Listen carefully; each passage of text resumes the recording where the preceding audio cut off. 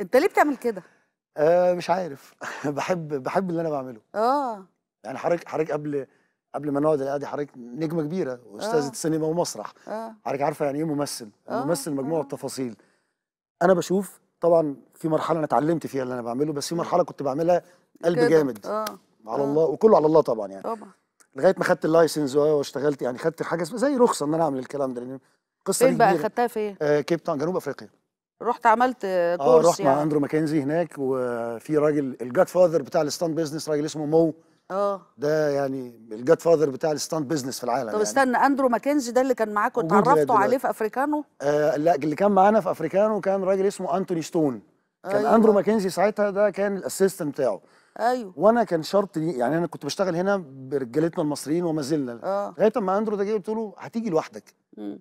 أنا نفسي تعلم لنا crew. آه يبقى عندنا crew مصر. صح. لغاية ما بقى طبعا إحنا عندنا أساتذة في المهنة من زمان عم الطوخي والى اخره آه. بس طبعا كان ناقصنا شوية إمكانيات. مم. فلما جه أندرو وجبنا الإمكانيات بقى عندنا crew دلوقتي ال godfather بتاعهم طبعا عم الطوخي الله يديه الصحه طبعا آه. إبراهيم بالطقم بتاعنا وفي ناس كتير موجودين.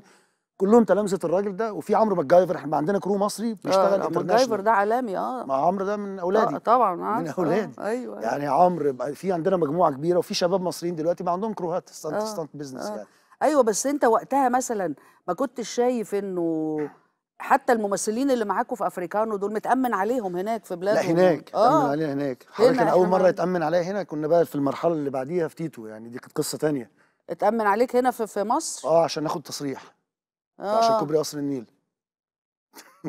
طيب آه، آه، التأمين ده بيبقى عامل إزاي؟ أصل أنا ما عملت أنا ما شوية تأمينات كده أنا بس مش قالوا لي يعني تأمين بس أنا ما أعرفش إيه قصته بس ولا لازم انت عارف أي حاجة ولا أعرف؟ حاجة خالص يعني ما أعرفش بس هو لازم طبعا أي ممثل مم. بيعمل يقول لك بيعمل his own stunt ده فلوس كتير يعني لو جرى له حاجة الناس اللي وراه. لازم بيتأمن عليه يعني. آه.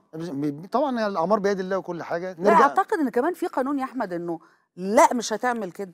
لا مش هتعمل كده. دي في مراحل معينة بعد ما بتمر ب tests كتيرة آه. كشف طبي وحاجات كده. آه. أنا بشوفها عشان أرجع لكلامي لحضرتك أنا بشوفها إن أنا كممثل آه. هلعب شخصية معينة. مم.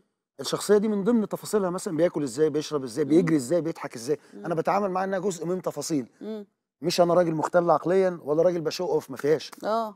آه. لأن ما فيهاش لأن أنا الحادثة اللي حصلت لي في حياتي أنا كنت واقف ما بعملش حاجة. ده ما كنت ما انت بعملش حاجة. أما جيت لك أنا المستشفى بصراحة أنا كنتش كان. في خوف شديد إنه بع- بعد الشر يعني يا رب بعد الشر. الحمد لله العين تروح.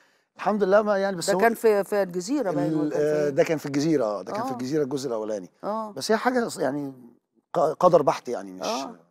مش عند منك يعني. لا لا خالص أنا كنت واقف. آه. واقف على أيوة. جنب ما بعملش حاجة. يعني لما ما عملش حاجة اتدهمل طب في مافيا انت خلصنا إحنا عملنا كل الشغل بتاع مافيا ده. طبعا مافيا برضو فيلم من, من مافيا لا مافيا مافيا بقى اللي اللي كان ال upgrade بتاع التكنيك اللي حصل. آه.